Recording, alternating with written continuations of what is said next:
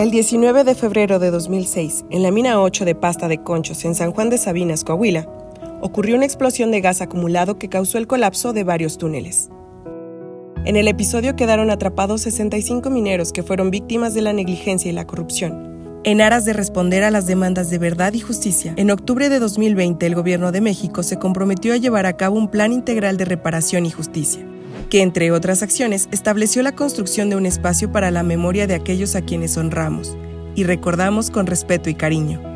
Es un espacio abierto a todas las personas, que permitirá visitas y conmemoraciones, un lugar de recordatorio y meditación a la población. Se diseñaron elementos verticales para representar a cada uno de los mineros, que se conectan a través de un túnel. Dentro de este hay placas conmemorativas para cada minero, que se iluminan por la luz natural que entra de las ventanas al cielo, ubicadas en la parte superior de estos elementos. Acceder al túnel es posible tanto por una escalera situada a un costado de la explanada central, como por dos rampas ubicadas en los extremos de la construcción. Estas últimas propician un ingreso más lento, fomentando la contemplación y la meditación.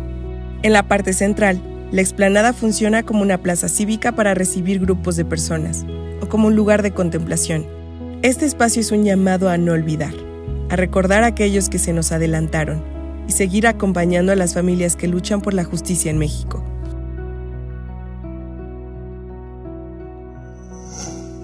Gobierno de México.